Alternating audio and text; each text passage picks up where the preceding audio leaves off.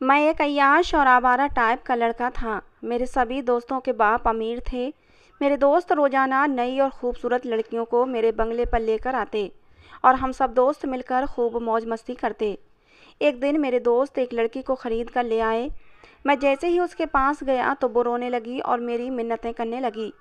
मैंने तरस खाकर उसे छोड़ दिया। कुछ समय बाद मेरी माँ का एक्सीडेंट हुआ तो मैं माँ को लेकर अस्पताल चला गया। वहाँ मेरी माँ का ऑपरेशन हुआ, जैसे ही डॉक्टर ऑपरेशन करके बाहर निकली और उसने अपने चेहरे से मास्क उतारा तो उसे देखकर मेरे पैरों के नीचे से ज़मीन निकल गई। ये तो वही लड़की थी, जिसे कुछ दिन पहले मेरे दोस्त खरीद कर लाए थे। उस लड़की ने भी मुझे पहले ही नज़र में पहचान लिया था।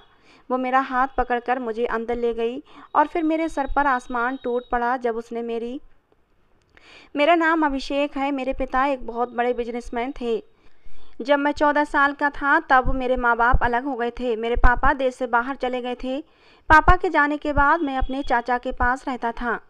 मेरे चाचा मुझ पर इतना ध्यान नहीं देते थे, क्योंकि वो खुद भी हर समय अपने बिज़नेस में लगे रहते थे। मुझे अपने माँ बाप पर बहुत गुस्सा आता था। उन्होंने मुझे यूँ लावारिसों की तरह छोड़ दिया था। लेकिन पापा हर समय मेरे पास पैसे भेजते रहते थे। किसी चीज़ की कोई कमी नहीं थी। मुझे। लेकिन माँ बाप के प्यार की कमी थी और मुझे उसकी बहुत ज़रूरत थी। मुझे उनका प्यार चाहिए था, लेकिन दोनों अलग हो गए थे और अपनी अपनी ज़िंदगी में बिज़ी हो गए थे। पापा से अलग होने के बाद मेरी माँ ने तलाक लेकर दूसरी शादी कर ली थी। उन्हें भी मेरी कोई परवाह नहीं थी। पापा के बारे में मुझे कुछ जानकारी नहीं थी कि उन्होंने दूसरे देश में जाकर शादी की है या नहीं। लेकिन उन्हें मेरी कोई चिंता नहीं थी। मुझे इस वजह से ही अपने माँ बाप से नफरत हो गई थी। मैं पिछले बारह सालों में यूँ ही अकेला रह रहा था। पापा कभी कभार मुझसे मिलने आ जाते थे, मगर मेरी माँ तो कभी मिलने नहीं आई थी। पापा ने मुझे इंडिया में बिज़नेस भी करवा दिया था, मगर मैं बिज़नेस में कोई दिलचस्पी नहीं लेता था और अपने आवारा दोस्तों के साथ घूमता रहता था। आज मैं कमरे में बैठा सिगरेट के कश लगा रहा था। इतने में मेरे मोबाइल पर कॉल आने लगी। मैंने गहरी सांस ली और कॉल कट कर दी।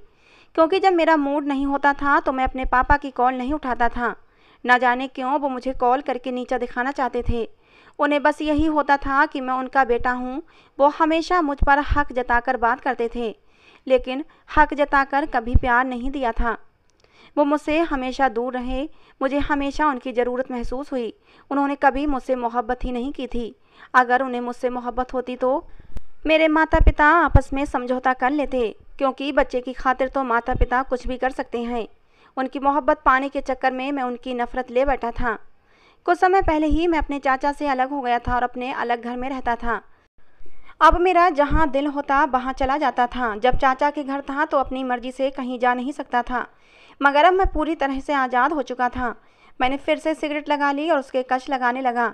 मुझे याद था, जब भी बचपन में मेरे पापा सिगरेट पीते थे तो मुझे बहुत बुरा लगता था कि मेरे पापा सिगरेट क्यों पीते हैं। लेकिन अब वो सिगरेट मेरा नशा बन चुकी थी। अगले दिन बारह बजे के समय मेरी आँख खुली। मुझे कुछ भी याद नहीं था। मैं बाहर आया तो सामने पापा का एक दोस्त बैठा हुआ था। मैंने गुस्से में उनकी तरफ़ देखा। क्योंकि जब भी मैं पापा से बात नहीं करता था तो पापा अपने दोस्त को मेरे घर ज़रूर भेज देते थे, ताकि वो मेरी खैर खैरियत पता कर सकें। अंकल मुझसे कहने लगे, बेटा, तुम्हें अपने पापा से इतनी नफ़रत क्यों है?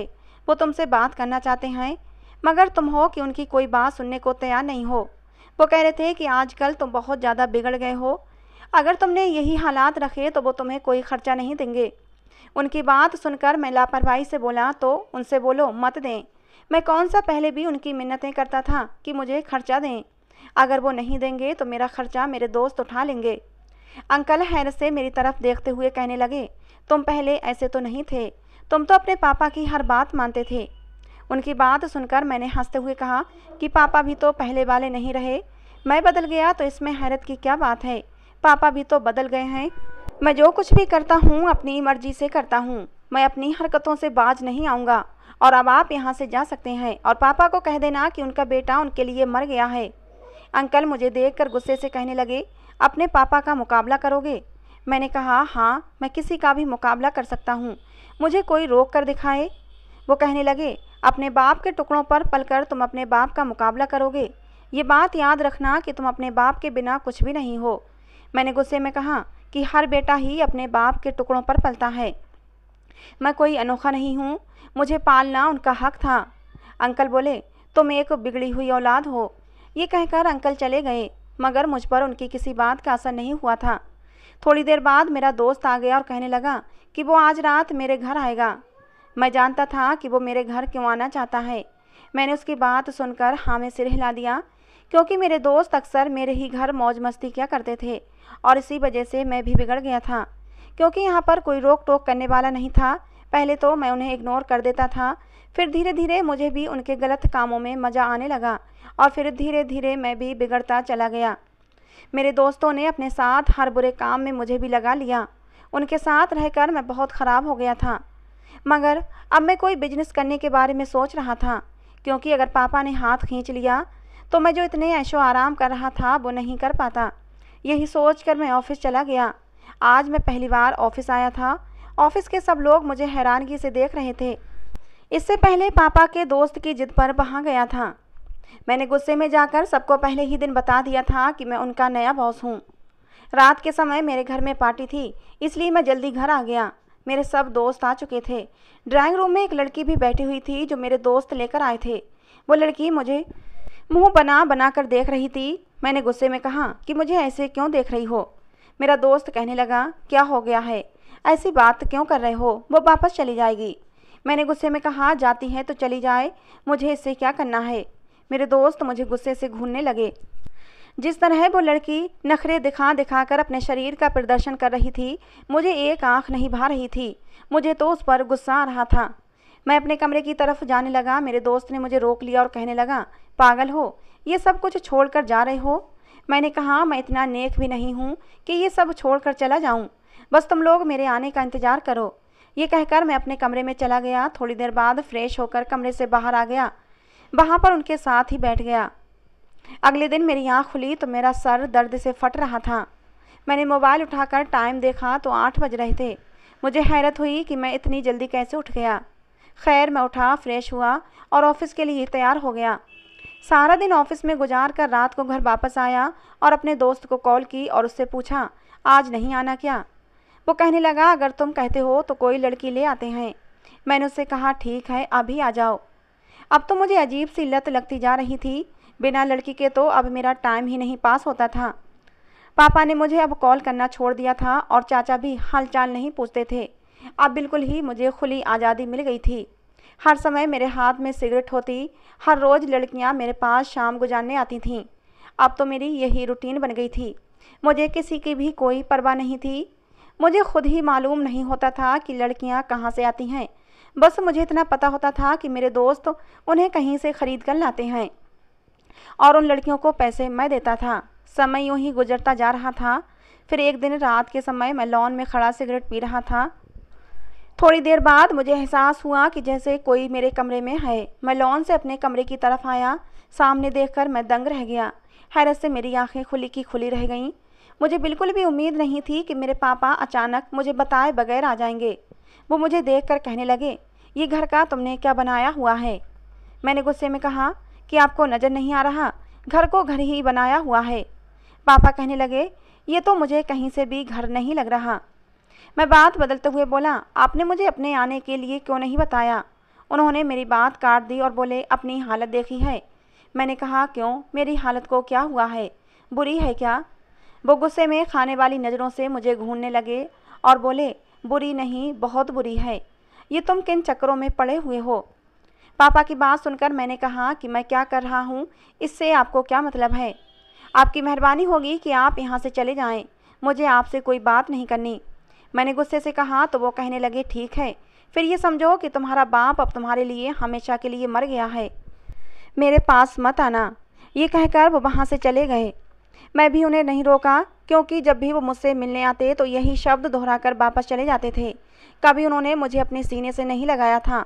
उनके पास तो मेरे लिए समय ही कहाँ था? वो सिर्फ़ एक या दो घंटे के लिए मेरे पास आते। उनके जाने के बाद मैंने एक लंबा सा सिगरेट का कश लिया और फिर से लॉन में आ गया। ठंडी हवा चल रही थी। मैंने गहरी सांस ली। इतने में मेरे मोबाइल पर कॉल आने लगी। मैंने मोबाइल की तरफ़ देखा। मेरे दोस्त का नंबर जगमगा रहा था। मेरे लबों पर मुस्कुराहट बिखर गई। मैं नहीं जानता था मैं इतना खुश क्यों हो रहा हूँ। मैंने जल्दी से कॉल उठाई। तो दूसरी तरफ़ मेरे दोस्त की जगह पर कोई लड़की बात कर रही थी। मैंने पूछा, कौन बात कर रही हैं आप? वो कहने लगी, आपके दोस्त की दोस्त बात कर रही हूँ। उसकी बात सुनकर मुझे गुस्सा आया। मैंने गुस्से में कहा कि मुझे कॉल क्यों की है? कहने लगी कि आपने मेरे दोस्त को क्यों बुरे कामों पर लगा रखा है? खुद तो एक बिगड़े हुए इंसान हो, मेरे दोस्त को भी बिगाड़ रखा है। अगर रत्ती बराबर भी आपके अंदर शर्म है तो फिर मेरे दोस्त को इन कामों से दूर ही रखना। आपकी वजह से मेरा दोस्त मुझसे दूर होता जा रहा है। उसकी बात सुनकर मुझे गुस्सा आ गया और इस कदर गुस्सा आया कि मैंने अपनी मुठ्ठियाँ भींच कर कॉल काट दिया। क्योंकि अगर वो कुछ और कह देती तो मेरी बर्दाश्त से बाहर हो जाना था। मुझे बहुत हैरत हो रही थी कि ये लड़की कौन थी। मैं उससे एक बार उस अकड़ू लड़की को देखना चाहता था। उससे बदला लेना तो बाद की बात थी। मैंने थोड़ी देर बाद उसी नंबर पर कॉल किया। अब मोबाइल मेरे दोस्त के पास ही था। मैंने कहा कि एक लड़की ने इसी नंबर से मुझे फ़ोन किया था और मेरी बेइज्जती की है। मैंने कहा कि अगर तुम मुझसे दोस्ती रखना चाहते हो तो तुम्हें मेरा ये काम करना होगा। वो कहने लगा, भाई, तुम्हारे लिए तो जान हाजिर है। बोलो, क्या करना है? मैंने कहा, आज तुम्हारे पास थोड़ी देर पहले जो लड़की थी वो कौन थी? मेरी बात सुनकर वो हँसते हुए कहने लगा कि वो मेरी एक पुरानी दोस्त थी। वो ऐसे ही जरा दिमाग की सरकी हुई लड़की है। उसकी बातें दिल पर मत लो। मैंने गुस्से में कहा कि मुझे वो लड़की चाहिए। वो कहने लगा, भाई, पागल हो गए हो। क्या बोल रहे हो? वो ऐसी वैसी लड़की नहीं है। मुझे बहुत प्यार करती है। उसकी बात सुनकर मैंने कहा, पागल नहीं हुआ। मुझे बस वही लड़की चाहिए। अगर दे सकते हो तो ठीक, वरना मुझे कभी कॉल मत करना। ये कहकर मैंने कॉल कट कर दिया। मैंने उसे बेबस कर दिया था। मैं जानता था कि वो मुझसे बहुत प्यार करता है और मेरे लिए कुछ भी कर सकता है। मैं अब उसकी कॉल का इंतज़ार करने लगा। उस लड़की के लिए मैं पागल हो रहा था। उस लड़की के बात करने के अंदाज से वो ऐसी वैसी लड़की नहीं लग रही थी और मैं जानता था वो मेरे पास आने के लिए कभी नहीं मानेगी। लेकिन मैं भी देखना चाहता था कि मेरा दोस्त मेरे साथ क्या करेगा। अगले दिन मैं ऑफ़िस से वापस आया। सामने मेरा दोस्त आया हुआ बैठा था। मैंने खामोशी से उसकी तरफ़ देखा, फिर सोफे पर, जहाँ एक डरी हुई लड़की बैठी हुई थी। मेरा दोस्त मेरा बाजू पकड़कर मुझे साइड पर ले गया और बोला, कल वाली बात पर हाथ जोड़कर माफ़ी मांगने लगा। कहने लगा, मेरी खातिर उस लड़की को भुला दो, वो नहीं आ सकती। वो बहुत अच्छी लड़की है, बहुत ही शरीफ है और मुझसे बहुत प्यार करती है। यार, वो तेरी होने वाली भाभी है। हाँ मगर मैं ये लड़की लाया हूँ। और फिर मैंने अपने दोस्त की खातिर कल वाली लड़की को भुला दिया और मैं उस नई लड़की को देखने लगा। वो मुझे बहुत अजीब सी लगी थी। चेहरे पर मासूमियत छाई हुई थी। डर की वजह से उसके हाथ काँप रहे थे, जिन्हें वो छुपा रही थी। मेरा दोस्त कहने लगा कि कल सुबह मैं इसे आकर ले जाऊँगा। वो ये कहकर वहाँ से चला गया। मैं उस लड़की की तरफ़ गया। वो रोती हुई मेरे आगे हाथ जोड़ने लगी। मैंने गुस्से से कहा यह ड्रामा मुझे मत दिखाना। वो रोते हुए कहने लगी कि मैं ऐसी वैसी लड़की नहीं हूँ। मैं हैरत से उसकी तरफ़ देखने लगा। उसकी आँखों से मोटे मोटे आँसू बह रहे थे। वो कहने लगी, प्लीज़, मेरे पास मत आना। मैंने उसकी तरफ़ कदम बढ़ाए, मगर वो पीछे होती हुई सोफे पर गिर गई। मैंने गुस्से में कहा, क्या हो गया है? पागल हो क्या? मेरे गुस्से से वो रोती हुई कहने लगी, प्लीज़, भगवान के लिए मुझे यहाँ से जाने दें। आपने जितने पैसों में मुझे ख़रीदा है, मैं वो सारे पैसे वापस कर दूँगी। वो रोते हुए कहने लगी मुझे उस आदमी को वापस मत करना, प्लीज़। आप मुझे यहाँ से जाने दें। वो रोती हुई मेरे पाँव में गिर गई। मैंने उसे कंधों से पकड़कर उठाया और कहा कि देखो, मैंने किसी के साथ आज तक ज़बरदस्ती नहीं की है। जो भी लड़की मेरे पास आती है, वो अपनी मर्ज़ी से मेरे साथ रहती है। पहले तुम रोना बंद करो। मैंने अचानक ही अपने हाथों से उसके आँसू साफ़ कर दिए। वो एकदम पीछे हुई। उसकी बड़ी बड़ी काली आँखें लाल हो रही थीं। मैंने कहा, देखो मैंने बोला, है ना, कि मैं आपको कुछ नहीं करूँगा। वो कहने लगी कि वो लड़का मुझे ले जाएगा, उसने मुझे ख़रीदा हुआ है। वो लड़की शायद मेरे दोस्त की बात कर रही थी।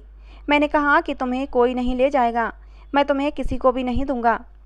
वो मेरे सामने हाथ जोड़कर कहने लगी, मुझे जाने दो। मैं बस उस लड़की को देखे जा रहा था, कितनी जल्दी थी उसे यहाँ से जाने की। उसका बस नहीं चल रहा था कि वो जल्दी से वहाँ से भाग जाती। मैंने उसे कहा कि ठीक है तुम रोना बंद करो और यहाँ से वापस चली जाओ। मेरे कहने पर उसने जल्दी से अपना दुपट्टा उठाया और ख़ुद पर लिपेटते हुए वहाँ से चली गई और मैं उसे देखता रहा। न जाने क्यों मुझे आज बहुत सुकून मिल रहा था और ये बात मुझे खुद समझ नहीं आ रही थी। मैंने आँखें बंद की तो उसका गुलाबी चेहरा मेरी आँखों के सामने घूमने लगा।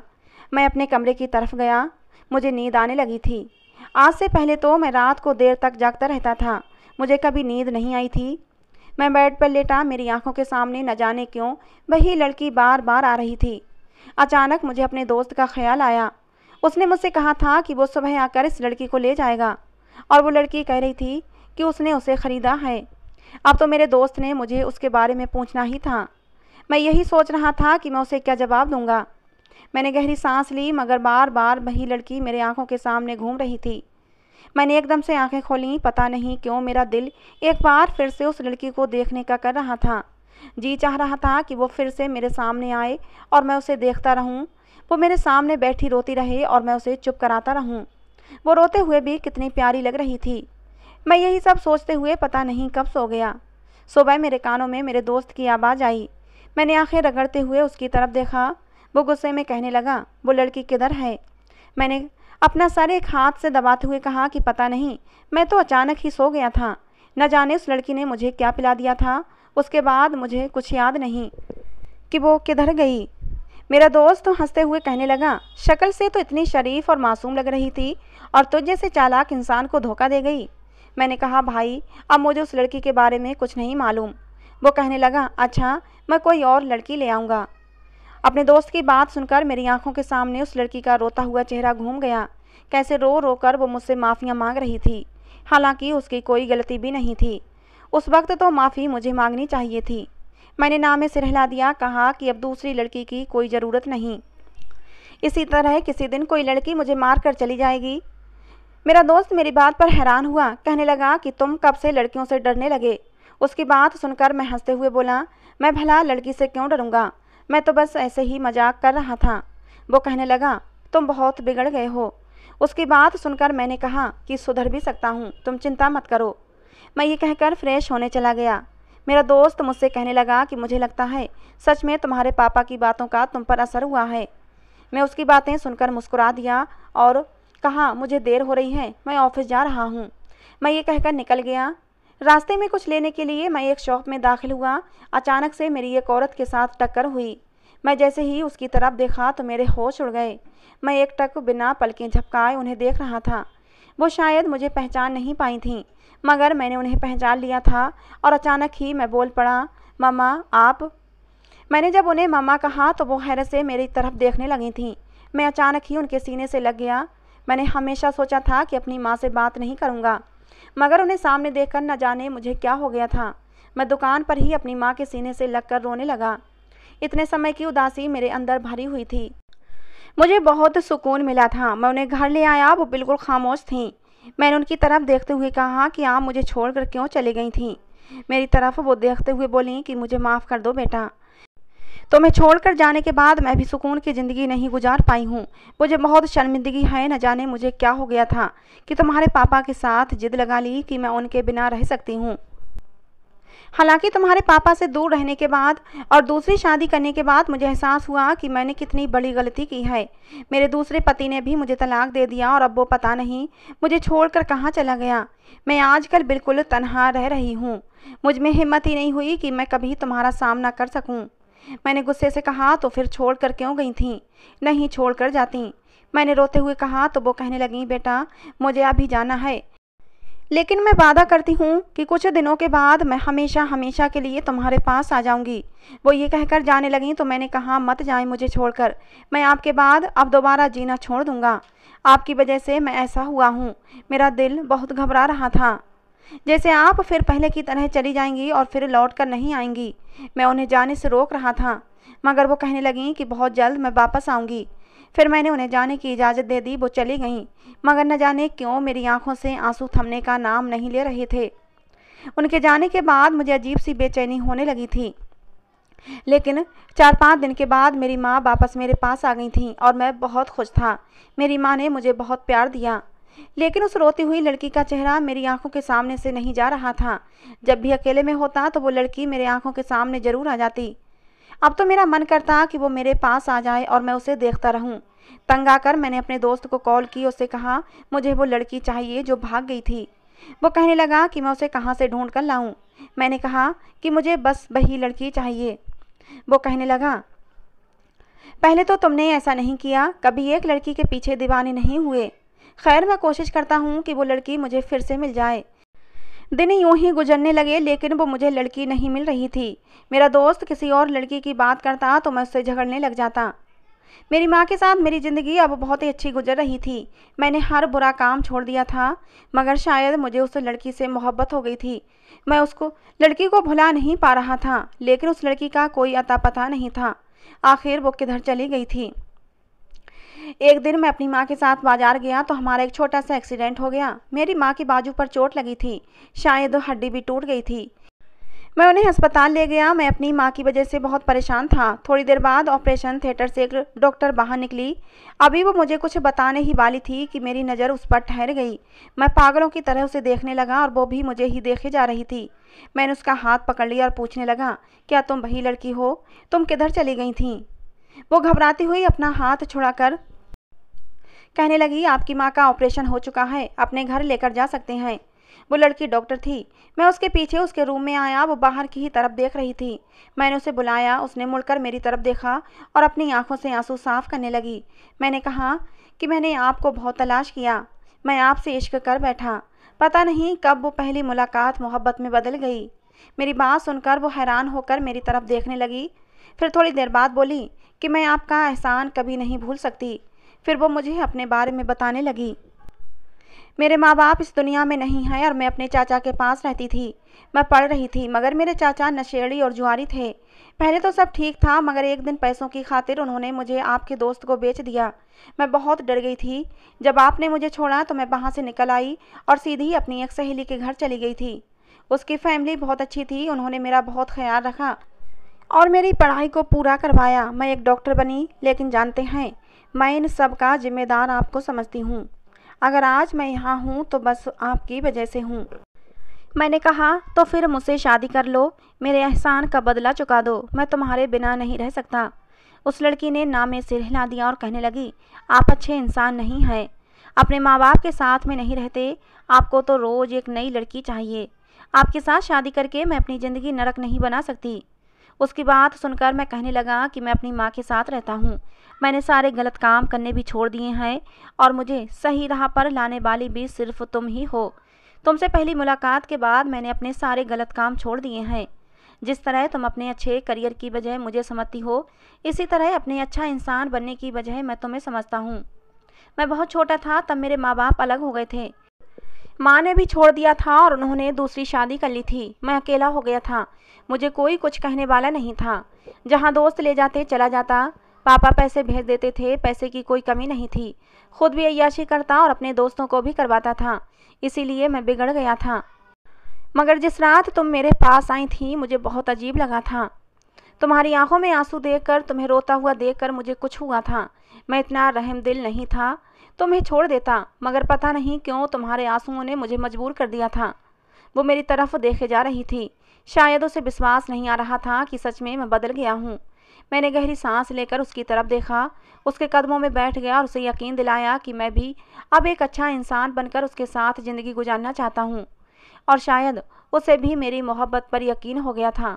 उसने मुस्कुराते हुए हाँ में सिर हिला दिया। मैं जब माँ को घर लेकर आया तो उन्हें उस लड़की के बारे में बताया।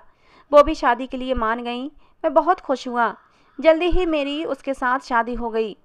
और सुहाग रात को जब मैं अपनी पत्नी के कमरे में जा रहा था तो मेरे दिल की धड़कनें ऐसे धड़क रही थीं जैसे मैं पहली बार किसी लड़की से मिलने जा रहा हूँ। हालाँकि इससे पहले मेरी कोई रात ऐसी नहीं होती थी कि मैं किसी लड़की की बाहों में न सोया हूँ। लेकिन ऐसा लग रहा था कि जैसे आज मेरा पुनर्जन्म हुआ हो, मैं बिल्कुल भी पहले वाला इंसान नहीं रहा था। और फिर जो सुकून मुझे अपनी पत्नी की बाहों में मिला, वो आज तक मुझे किसी लड़की की बाहों में नहीं मिला था। मैंने भगवान का धन्यवाद किया कि मुझे सही राह पर लाने वाली लड़की मिल गई थी। सच कहते हैं, एक अच्छा इंसान बहुत से लोगों को अच्छा बना देता है। उस लड़की की एक मुलाकात ने ही एक बिगड़े हुए लड़के को सुधार दिया था, और आज मेरी वजह से मेरे दोस्त भी सुधर गए थे। मेरे दोस्त ने भी उस लड़की से शादी कर ली थी, जिसने फ़ोन करके मुझसे बुरी बातें की थीं। वो लड़की भी मेरी बहुत एहसानमंद है कि उसकी वजह से उसे उसका प्यार मिल गया था। आज मैं अपनी पत्नी और अपनी माँ के साथ हँसी खुशी ज़िंदगी गुजार रहा हूँ। तो दोस्तों, आज की हमारी ये कहानी आपको कैसी लगी? पसंद आई हो तो प्लीज़ एक लाइक और एक प्यारा सा कमेंट ज़रूर करना। कहानी को अंत तक सुनने के लिए आप लोगों का बहुत बहुत धन्यवाद। मिलते हैं दोस्तों अगली किसी नई कहानी में।